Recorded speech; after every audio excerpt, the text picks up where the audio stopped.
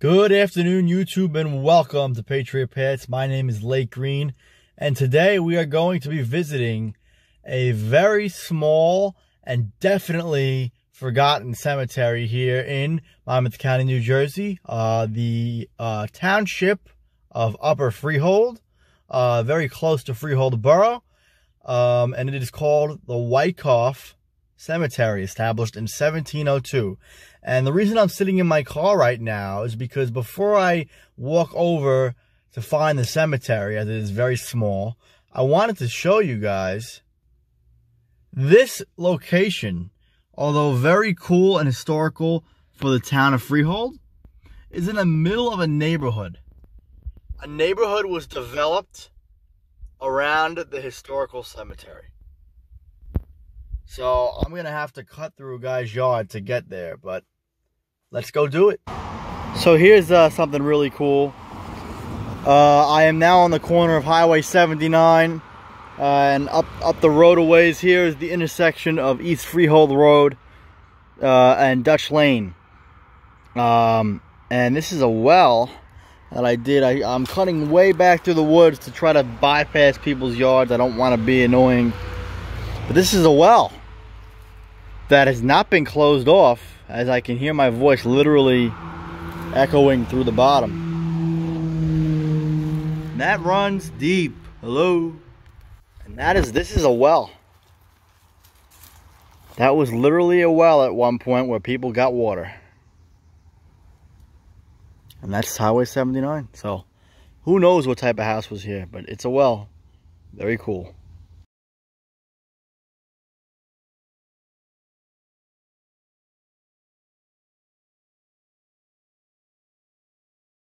And I'm walking around the lands near the cemetery and look at this. Bones of a dead buck deer. Huh. If that is not fitting to this eerie and dilapidated area.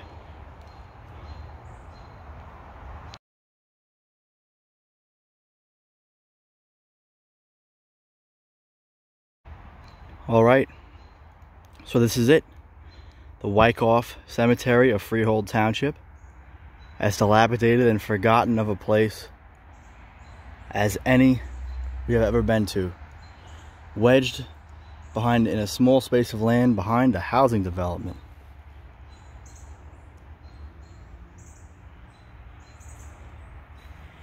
So this cemetery was founded in 1702 after a man named John Wyckoff purchased the land from the township uh, probably to use as his uh, family burial ground.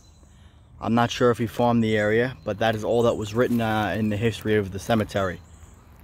Um, and the graves here of, are of all prom of all prominent uh, local families, early settlers of Freehold and Upper Freehold, which was then it wasn't known as Upper Freehold; it was known as simply Freehold, and uh, local farm families. So families who farm the surrounding lands and uh, organize to bury their dead. And almost all these graves are dilapidated beyond reading. And there's only a, there's a handful. There must be a dozen, maybe two, two dozen graves here. Very hot day today. 90 degrees at the John Wyckoff Cemetery of Freehold. All right, so the first two graves we'll uh, look at. Barkalows. Daniel and Derek Barkalow, who died in the years 1795 and 1801. So let's check out this grave. In memory of Derek Barkalow, son of Daniel Barkalow, who died July the 28th, 1801, age 25 years, 10 months, and 17 days. So he was born in 1776 the year the United States was founded. Derek Barkalow, the son of Daniel.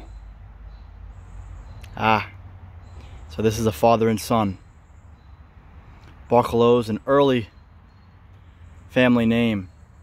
And look, C instead of K. Today, there are Barkalows still in Freehold um, with the family name K. and the middle school uh, middle school in West Freehold, Barkalow Middle School, is named after the family with a K. And there's the father. In memory of Daniel Barkalow, who died June 28, 1795, age 74 years, 6 months, and 2 days. So a father and son laid to rest here. Two members, two very early members of the Barkalow family of Freehold. May you rest in peace, gentlemen. So this next line of graves is literally overgrown in the middle of an overgrown patch of weeds and growth. And these are the of Wyckoffs, more early Wyckoffs and Formans. Uh, Anna Wyckoff, Agnes William, Catherine Forman, Ezekiel Forman, and Captain Jacob Forman. The graves spaced out between 1777, the earliest, and 1841, the latest. So we'll start down here. This is Anna Wyckoff. Can't even read that. In memory of Anna Wyckoff, who departed this. Uh, the daughter of Agnes Wyckoff, who departed this life March 8th, 1803, in the 68th year of her age. And that's their daughter. And this is her mother, another Wyckoff in memory of Agnes Wyckoff, wife of William Wyckoff, who departed this life July 16th, 1777, age 73 years. And here is William Wyckoff, memory of William Wyckoff, who departed this life September 8th, 1782, aged 75 years. So 1782 his wife died five years earlier in 77 and his daughter in 1803 some years later. And as I mentioned earlier, the Wyckoffs uh, were early settlers of Freehold, probably related to the original owner of the land, John Wyckoff. Could be a, a, a father or a grandfather, probably a father. Um, and or a relative, who knows? Uh, and the Wyckoff name is still remembered in Freehold Township.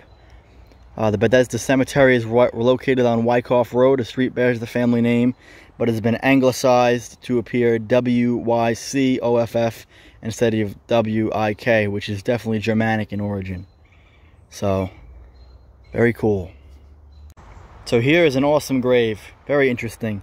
In memory of Captain Jacob Forman, who entered the merchant service at the port of New York at the age of 14, and he progressed by regular grades to the captain of the ship and remained in the service near close to his death uh, in 1841 in his 58th year of life.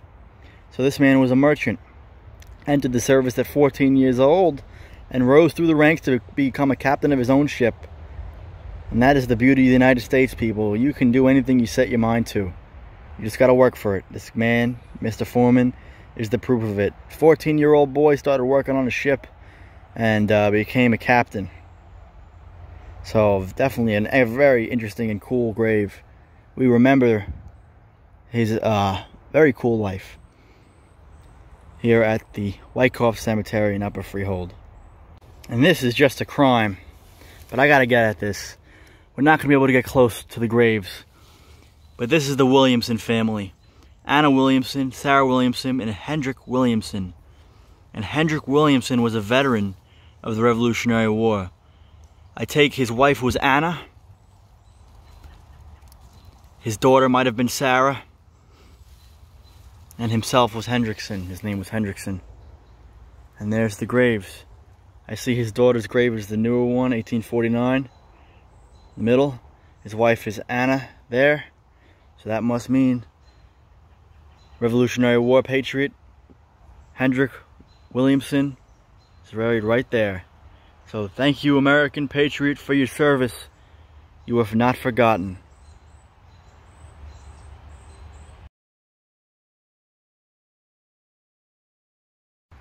And here are some more graves, the Antonides, John, Mary, Peter, and EA. That is EA another stone there through the overgrowth. And uh, Mary, Peter, and John there, the Antonides family. And there is plenty more unmarked graves here made of stone and native field stone.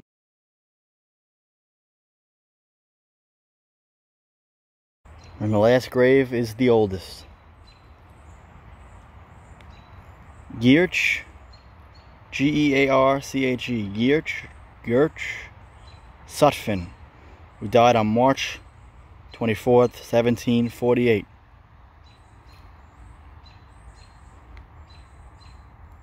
Geerch Sutphin. And if you remember, when we did our Monmouth Battlefield tour, the Sutphin farmhouse was there. So there is a high likelihood uh, that this Sutphin was related to the original Sutphin family. Could have been related to Derek Sutphin and his sons who lived and farmed on that land. Who knows? And so that is it. We checked out today the very small but very interesting and, oh, and very forgotten John Wyckoff Cemetery of Upper Freehold, technically officially known as the Wyckoff Cemetery.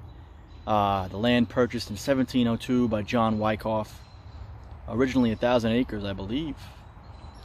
Um, and it was on a thousand acres, not even an acre of which uh, remains this cemetery, full of marked and unmarked graves. So let me remove my cap and let us have a moment of silence for all of the dead, known and unknown.